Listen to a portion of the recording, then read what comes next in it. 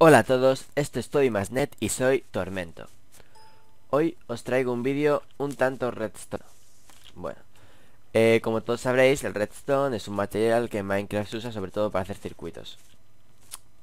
Hay diferentes tipos de elementos para ello, pistones, circuitos, conmutadores, etc. Bueno, hoy os traigo un mapa creado por Vicent, el profesor del redstone, en el cual, basándose en algunos tutoriales de YouTube o investigando ciertas maneras él ha hecho diferentes circuitos para diferentes elementos que pueden ir bien en un mapa de Minecraft. Solo veremos un poco por encima los elementos. Lo primero que vamos a ver va a ser una granja semiautomática. La recogida es básicamente totalmente automática. Como vemos, cuando le damos a la palanca, el agua cae arrastrando todo lo que son los vegetales y las semillas y todo hacia abajo.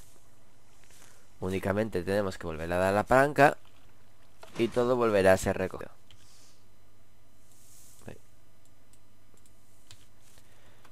Así veremos que según entramos, cogeremos los elementos. Como podéis ver.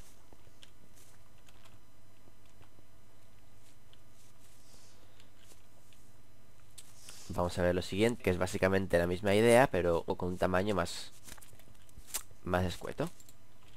Abrimos, cae. Siempre es bueno esperar unos minutos, ya que si cerrásemos a la mitad o enseguida, muchos elementos quedarían en la tierra, ya que se seca antes la tierra de lo que tardan en bajar. Cerramos. Y vamos a por nuestra cosecha. Hay que tener cuidado porque a veces los calambres pueden aparecer en zonas donde hay agua. Esa es otra granja. Lo que este es de caña, que tiene un sistema diferente. Como la caña siempre se planta una abajo y van subiendo para arriba, lo que hacemos es acabar con los de arriba.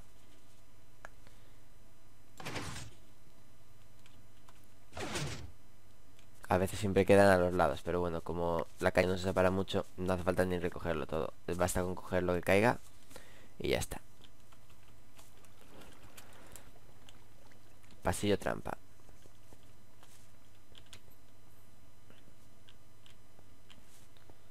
Esto es un sistema de pasillo. Y cuando le damos al botón, botón para diamantes. Uh, nos caemos. Para subir, aquí. Vale.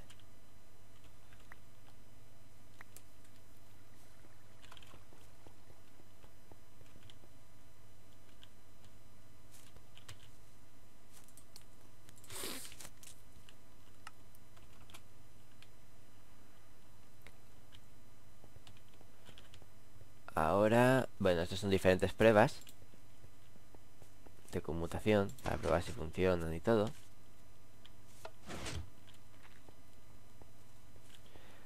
Esta es una jaula y lo que hace es que si vas por un sitio predeterminado, alrededor tuyo se levanta una jaula que te proteja de diferentes criaturas.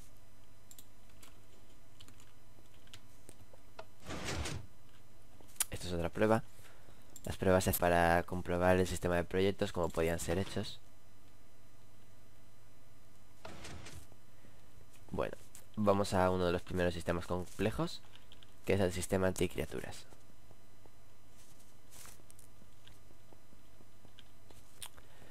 Vale, este sistema sería como un pasillo en el cual nosotros podríamos accionar o desaccionar el sistema.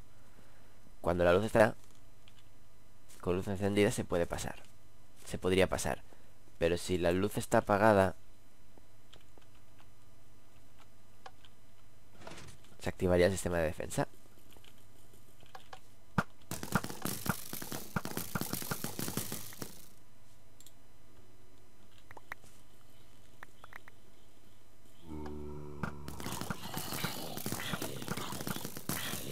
Básicamente sería algo así. encendida. El sistema se desactiva y podemos pasar tan tranquilamente. Y además recoger las flechas. Vale. La granja, el pasillo...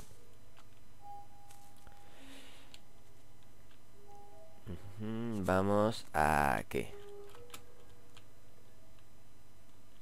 Aplastador de bichos. Esto iría bien para la entrada a una ciudad. Es un mecanismo bastante simple. Es más, esto. Tú estás entrando y ves que te persigue una criatura.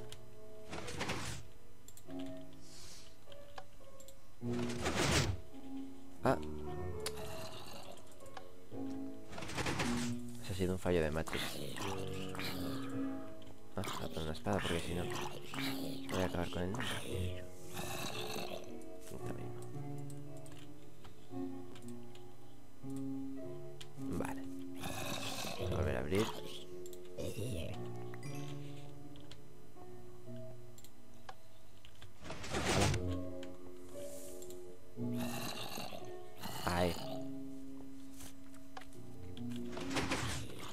Zombie quedaría apresado en medio de un sistema de pistones. Como podéis ver. ¿Veis? Ahora en teoría muerto.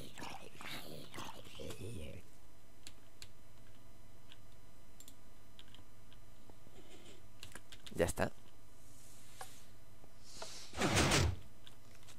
Estos sistemas están hechos con botones, pero se podrían poner palancas, pulsadores, dependiendo de lo que necesitemos.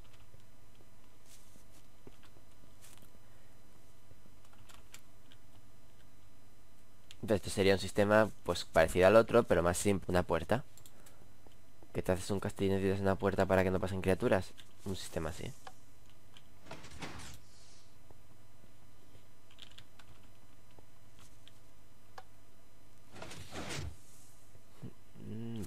Vamos a ir por orden, aquí, este, este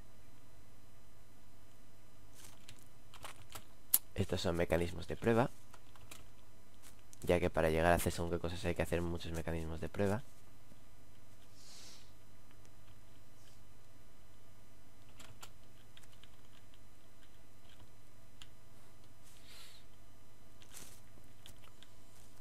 Puerta pistón.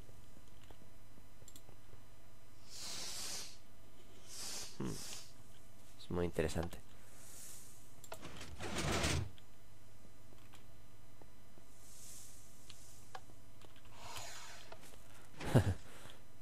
Piscina automática.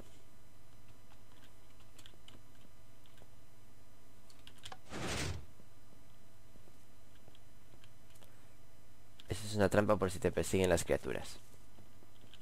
Vale, el sistema es este. Tú vienes por aquí y hay una criatura detrás. Activas esto.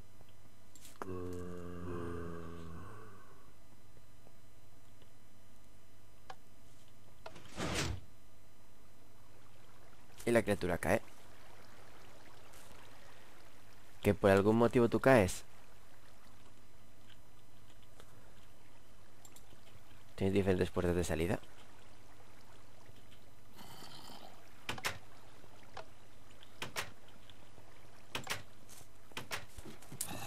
Tiene un mecanismo parecido a lo de las granjas. Vale. Esto sería una torre de entretenimiento.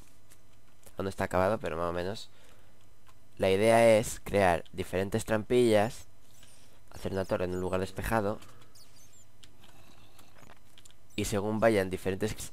Darle a los interruptores. Y activar o desactivar sistemas de la torre. Como podéis ver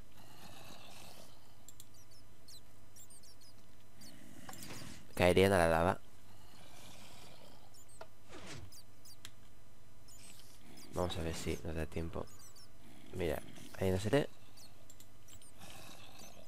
No, no cae Sea por su cuerpo alargado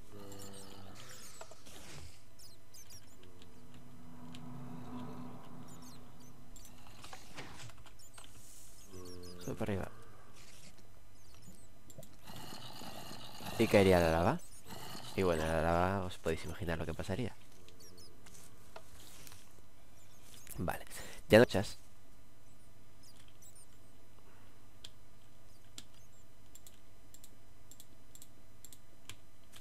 Ahora vamos a ir al sistema de ahogamiento de las criaturas. Esto se podría modificar en tamaño y todo eso dependiendo de los gustos de la persona. esto pues va bastante bien, sobre todo para recoger ítems. Por ejemplo, te siguiendo una criatura, tienes que hacer un tramo en el cual se quede encajado en medio y activarlo.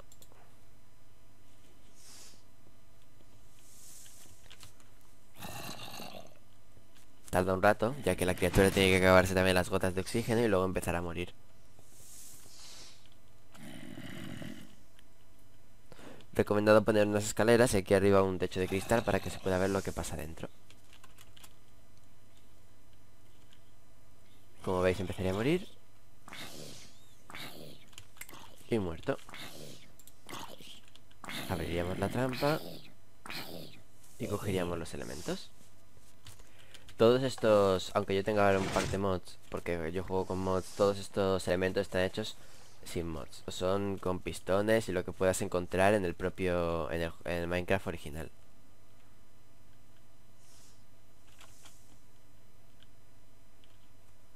Escape de emergencias. Opa.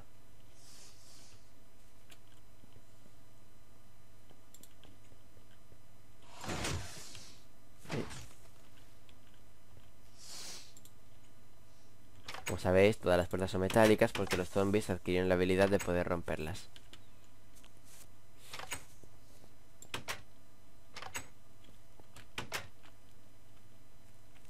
Vale. Y ahora vamos a llegar al último elemento, una de las cosas más fascinantes. Una puerta para un castillo un portón, como se podría decir. En mi opinión, de lo más interesante. Se podría tanto abrir y cerrar por los dos lados. Y básicamente es esto.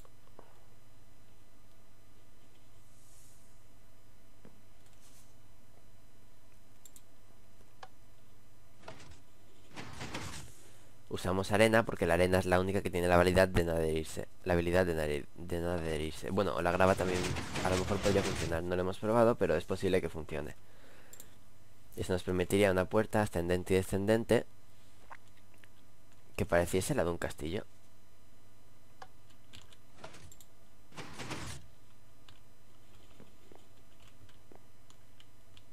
Un mecanismo un poco difícil. Pero si alguien quiere hacer algo sorprendente, vale la pena.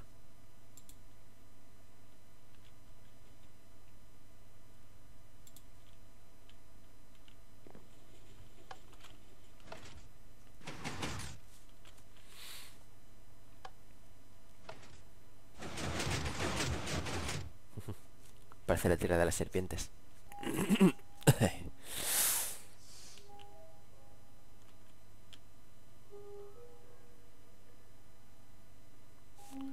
Bueno, espero que os haya gustado este mundo redstoniano y os dé ideas para poder vosotros hacer vuestros propios sistemas de redstone.